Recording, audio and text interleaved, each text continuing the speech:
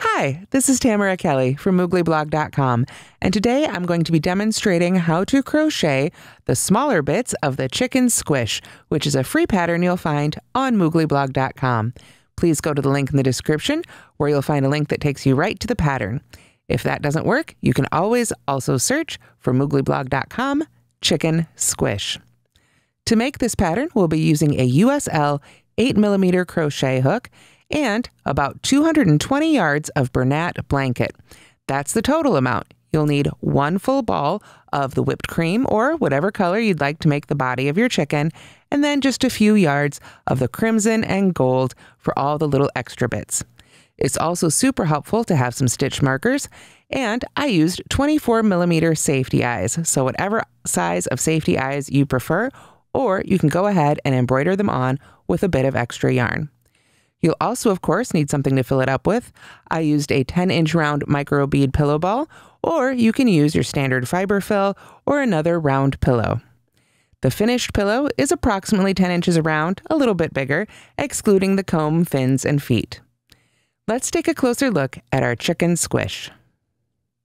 The chicken squish is made in several pieces that are then sewn together and assembled, just like most amigurumi. The first three pieces that we make are all in the white, or again, whatever color you'd like your chicken to be. Now, the top and the bottom are almost identical. The top just has a couple more rows, and they're worked in the same style as a lot of the other squishes I've made. If you'd like to tutorial on how to get these pieces started, you'll want to look for the octopus squish tutorial, which is also linked in the pattern as well as the tutorial blog post. The little wings are just like we made in the narwhal. You can see they're not actually stuffed. There's a pillow ball inside here, no stuffing, but these little wings are just crocheted crocheted in rather in the last round and then they're joined together. As I say, the top and the bottom are almost identical. But before you sew those together, you'll want to add on the extra bits. So we have the top and the bottom that we made in the white and then the other piece is right back here, our cute little chicken tail. So let's start by making that one.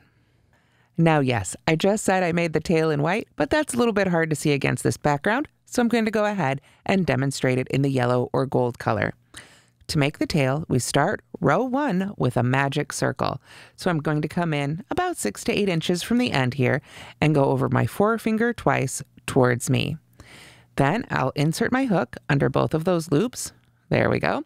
Grab that one that's furthest back and I pull it just forward of the other one, like so. You can see I'm holding onto the tail down here.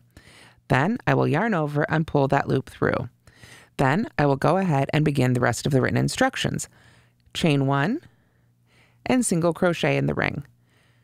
I want to make sure that I work into the center of that circle and that I keep that tail on top of my ring as well so we can pull this up nice and tight.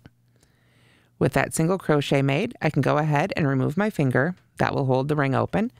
And I can go ahead and put my stitch marker right in the top of that single crochet. With the tail, we're working back and forth in rows, but it's just nice to have that stitch marked. Then we're going to half double crochet in that same ring Make sure again that that tail stays on top of our hook. There we go. And then we want to work three half double crochets into that ring as well. Excuse me, three double crochets. We've worked a single crochet, a half double crochet, and now we need three double crochets. So there's one. Go right back into that ring for number two. The yarn's trying to get all involved before we're ready. There we go. And three. All right.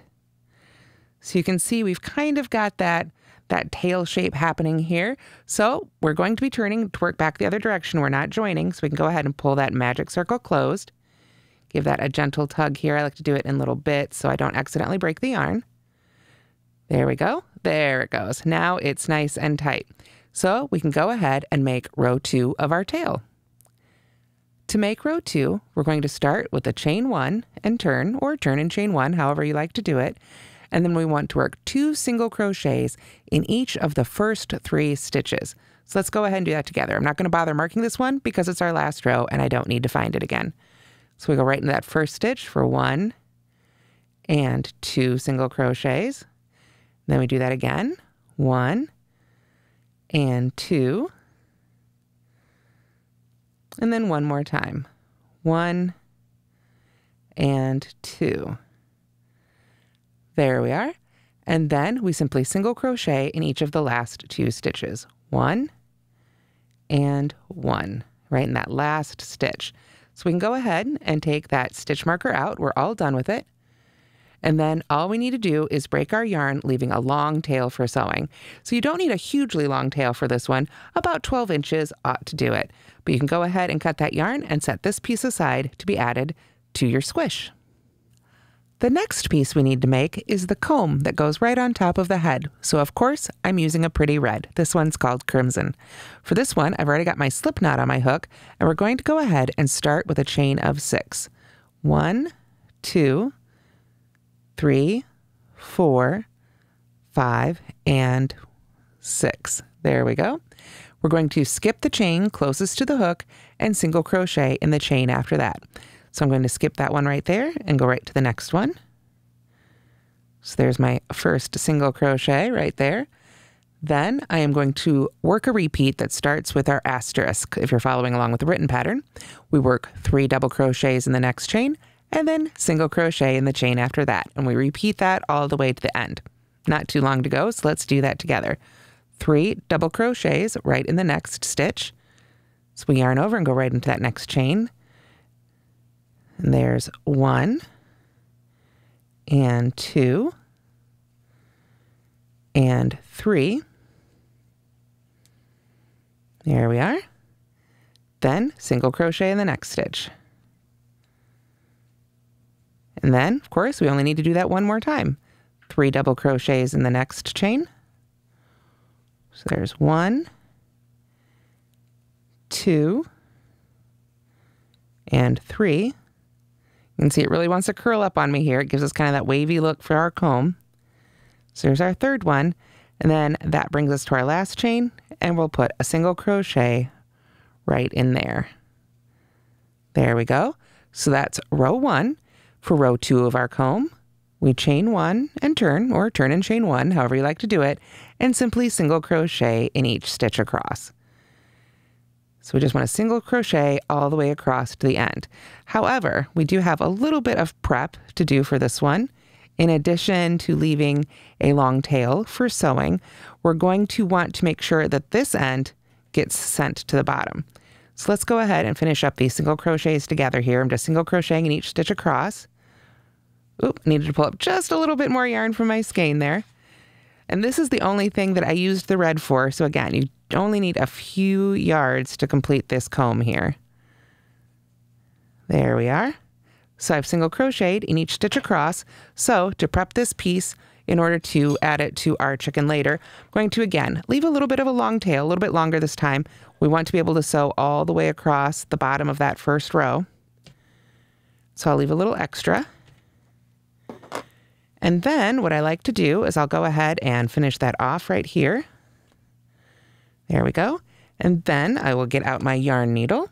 And of course, this is the end here. You can see this end was at the bottom of the row. This is going to be handy for sewing down this end. With this end, it's at the top of our comb. So we simply want to get that on our yarn needle. It can take a little minute as a thicker yarn. There we go. And then I simply send it sort of through the fabric. You can just kind of weave it back and forth until it gets right down there to the bottom of the comb again. There we go. And gently pull that all the way through here.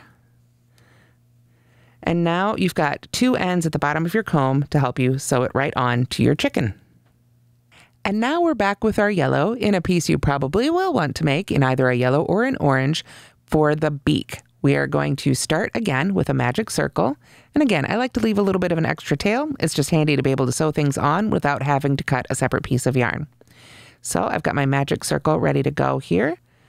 And once that's locked together, I'm just going to chain one and put a single crochet right in that ring.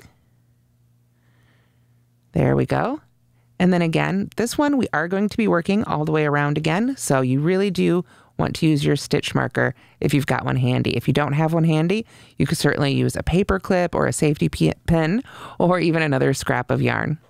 So to continue on with round one of our beak, We've got our single crochet in the ring. Now we need six half double crochets all into that ring. So we just want to work right into the ring and make sure you enclose that tail in every one of those stitches. So I'll see you once we've got the six half double crochets put into our ring. Now you can see here, I've went ahead and made all my stitches and I closed up the magic circle in the middle, but we're not going to be joining with a slip stitch here, much like the body pieces, if you've watched the tutorial or read the pattern for those, we're going to continue working in a spiral. So for round two, we just start working right into that first marked stitch. What we're going to do for round two is simply work two half double crochets in each stitch around. So you go, can go ahead and just go right into that first marked stitch here and make your first half double crochet. And then it's really important to go ahead and move that stitch marker on up. Otherwise, it's very easy to get lost as you come back around and not realize that you've already gone all the way around and you just keep going. So there's that first one. We want to do a second one right back in that same stitch. And then do the same thing all the way the rest around. Two half double crochets in each stitch. So I will see you as we get to the end of round two. So now I've worked two half double crochets in each stitch around, and you can see just how handy that stitch marker is. It lets me know I've worked into each stitch. Now, as I was crocheting, it was curling up at me like this, but we're not turning this for rows. We're not working from this side. So we want to make sure that when we go to add it to our chicken, we flip it back out this way so that it's right side out. Now, after finishing that last half double crochet for row two, we want to break our yarn, again, leaving a long piece for sewing. A little trick for something where you've got maybe a little bit more, you know, um, area for this. Might need a little bit longer circle, and this works especially well for larger pieces. This one's pretty small, but I like to just go right around where I know I'm going to be seaming two, maybe three times if I'm a little worried, or if I think I'm going to be sewing it down extra firmly, perhaps to give to a smaller uh, child. Then I'll go ahead and cut the yarn, and that way I know I'm going to have plenty of yarn left for sewing it on. So after you've cut the yarn for this one, we can go ahead and just pull up on that strand, pull it on through, and then we want to do the seamless join to give this a really nice finish here on our finished beak. So I'll find that end again and get that on my yarn needle or tapestry needle here. And then what we're going to do is from simply going to seamless join to that first stitch. So we can go ahead and take the stitch marker out. We're all done with that for this piece. Find that first stitch, go under both those loops at the top, with our yarn needle here and pull that loop all the way through. Now, for this technique can be used in a variety of ways. For this particular piece, it doesn't matter in the end what the stitch count is. We just want it to look good and have the right shape. So we don't need to worry about maintaining stitch count with this loop or anything like that. We can go ahead and pull it nice and tight and then just send that needle right back into that same stitch it came out of, like so. I do have a separate tutorial for this if you'd like to see it a little bit clearer. There we go. And then, of course, you can go ahead and just weave that end in a little bit. And anytime you've used a magic circle on a piece to begin a piece, you should weave in your ends both ways before you attach it to anything, just to prevent it opening up later. This yarn has a lot of texture to it, so it probably won't happen, but it's always good to be extra sure. Get that all the way pulled through there. You can see I'm not going to keep weaving it in, I'm just going to bring it up to the edge of the piece here like so. And then I know after I weave that center end in, I can go ahead and pop it right side out and it will be all set for sewing onto our chicken. The last pieces we need to make for our chicken are the feet, so you'll need to make two. And again, of course, I'm using my gold color. I've already got a slip knot on my hook, and then I'm going to begin crocheting. There's going to be three little toes here. It's a little strange, but it's really all one long, weird row. So let's make it together. We start with a chain of 10. One, two, three, four, five, six, seven, eight, nine, and 10. Then we're going to skip the chain closest to the hook and single crochet in the next seven chains. So we want to skip that one right there and come to the next. And I do recommend that you work into the back hump or the underneath hump, not the back loop, but the underneath hump of these chains for this section if you can. It's just going to give it a little bit of a better look for your foot. So there's one. Find that next chain there. Two. Get and work way into each of these chains here. Three, four, five, six, and seven. So since we skipped the chain closest to the hook and single crocheted in seven, you should have two chains left here unworked. Those are going to remain unworked for just a little bit longer. Now what we're going to do is we're actually going to turn. And we want to loosely slip stitch in the first three single crochets. So that's going to include this one right here. So we'll pull up on the loop there on our hook just a little bit. And when we loosely slip stitch, this is kind of the key. We're going to go right back in that first stitch and yarn over and pull up our loop and then pause. Just don't just immediately pull that second loop through the first loop. Give it a little pause and a little wiggle before you pull it through. And those slip stitches will be a whole lot easier to get back into. So there's one. We want to do that again. Pull that up, give it a little wiggle. Two. And one more time in the next stitch. Give it our wiggle. And there's three. Then we're going to chain five. One, two, three, four, and five. Now we're going to skip the chain closest to the hook, the first chain there, and single crochet in the next four chains. So we skip that one. And again, I have flipped this chain over to crochet into the back humps. So there's one, two. With the fuzzy yarn, it may take you a moment to kind of look and find them, but just do your best there. Three. Sometimes they like to twist around, especially as you've been crocheting into them. There we are. There's four. There we go. Then we single crochet in those three slip stitches. So you can see how it's kind of twisted around here. I'm just going to twist it right back around. It'll be absolutely fine. We're going to go right into those three slip stitches. Let me move that aside so it's a little easier to see here. We just want to go ahead and work a single crochet each of those slip stitches. So there's one, two, and three. You can see because we took the time to make those loose, they're nice and easy to work right back into. So we've got two of our little toes done here, but next we are going to work a slip stitch in that next unworked chain from the original chain 10 all the way back here. I'm going to find that next chain right there and just put a slip stitch right in that chain like so. Go ahead and give that a little tug. We're not going to be working back into that or anything. We want it to kind of wrap up here around the end of our foot. Then what we're going to do is do all that over again. If you're following along the written pattern, it's the section that starts with the brackets.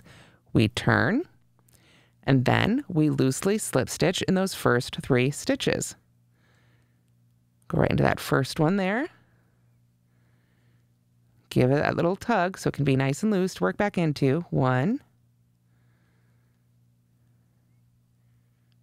two, and three, like so, just like that. Then chain five, one, two, three, four, five, skip the chain closest to the hook and single crochet in each remaining chain, which would be the next four here. Let's see, that one wanted to wiggle away on me. There we go. One, and two. And like I say, when things are dangling like this, they like to turn around on you sometimes. I just kind of let them straighten back out here before I go back in for that next stitch. Three and four. Just as before. And then we need to single crochet in each of those slip stitches. One, two, and three. There we go. And then we slip stitch in that last chain, the one right down here next to our slip knot. So we're going to find that last, or rather very first chain we made when we began our foot. There we go. And slip stitch right in there. Then we can go ahead and cut our yarn and make another one of these feet. Now, with all our pieces made, it's finally time to assemble our chicken. So the first thing we want to do is sew the comb to the center top of the top half of the body. Now you need to be sure to position it perpendicularly to the little wings on the sides. So at this point, this is going to be a soft piece. It won't have the ball inside, it won't be stuffed, but you'll still have these little wing sections sticking out on the sides. So you just want to find the middle, and you can see here I use the stitches themselves to help me find the middle. And then as best you can, you want your wings to be on the sides and you want your comb to go this direction. You can see here, I did my best to actually center it right over that first round of the top of the body. And I simply used those ends, you can sort of see right there, to go right through and just whip stitch it right down to the body itself. I do recommend that you take your stitch markers and really line up each of these pieces before you sew them down as you go. And of course, don't weave on those ends until you've taken another look at it and made sure it's all lined up. So once we've got the comb added, then we can come around here to the front of the top of the body. And the way I determine the front versus the back of the body is simply back here is where that tail end was when I finished working the final round. So I decided to call this one the front. And again, this is where we're going to add those safety eyes and we just want to sort of use those wings and now the comb, you can see bring that in right there. Use that to line them up find the center point, and then spread those out nice and evenly. You can try and count out the stitches if you want to. You can eyeball it. I put them approximately, it looks like one, two, three, four, five, six, seven stitches or so apart. And I just find a spot right in between those stitches and stick through my safety eyes. Again, if you'd like, or if you prefer, you can embroider those on instead. Now, the beak has to wait until the very end. It's the last part that we sew on. So after we finish the eyes, then it is time to figure out the bottom half of the body. And I like to start with the feet right here. Again, this is from the bottom half of the body. It looks very similar to the top half of the body. It's just slightly shorter, but it's still got the wings on either side. So you can use those to help you line up these feet. Now you'll notice I said to make two identical feet, but they look slightly different. They actually kind of look like one's a right foot and one's a left foot. Well, here's that. Let me get the tail ends out of the way here. Here's that foot we just made. There's one side for the other one, we just flip it over. So then you can get what looks like two different feet, but they're actually exactly the same. When I sewed on my feet, I again sort of worked out right from the center here. You can see there's our beginning. So I'm about two rows or two rounds out. And then I used the long tails left on those feet to just sew down sort of the I don't know my chicken foot anatomy, but the solid portion down here, leaving basically the toes to flap free. You can sew down the whole thing if you'd like, but I think it looks really cute with the toes left a little bit free. And again, you want to sew all these pieces on before you finally join in the final seam and put the ball inside because it's a lot easier to do your sewing and tuck all these ends in from the inside. Finally, after you've added your feet, we need to add that tail again on the bottom half of the body. Now, if you look really closely, you can see right there is the seam where I whip stitched the top half and the bottom half of the body together. So that tail, again, centered between the little wings on the side, and you can even use the feet a little bit if you want to to help you with this. Just sort of centered right on there, about about one row down. You can move this around if you prefer it a little higher or lower, it's up to you, but I went about one row down on the bottom half of my chicken. After that's sewn on, then finally we're ready to stuff and do the final seaming. Now, if, like me, you left your long tail for sewing here at the back of the body, you'll be all set to start seaming it together. So what we want to do is use our stitch markers to match up our stitches one to one, and then just use the whip stitch to start sewing these two pieces together. The wing stitches should all match up and continue all the way around. Now I want you to sew to just past the second eye. So if you're going this direction, you'd end right here. If you're going this direction, end right here. Then go ahead and kind of set the yarn needle aside and then we're going to sew on this beak. You can see here how it sticks out a little bit 3D. We talked a little bit earlier about how it was cupping. We can go ahead and use that to our advantage to create this great beak shape. I also put the tail end of the beak at the bottom. It's a little bit flatter down there. Again, just helping create that great beak shape. So once you've got that sewn on, then you can go ahead and continue to sew all the way around. But before you get too far, don't forget to add your stuffing or your pillow ball. You want to leave yourself as much of that open as you can to put that in while making it easy to sew on that beak. So just continue to stitch all the way around until you've come to the end, and then you'll have just one end that you need to bury from the outside of your squish. And that's how to crochet the chicken squish. Again, that's a free pattern you'll find on mooglyblog.com. Thanks so much for watching, and don't forget to like and subscribe.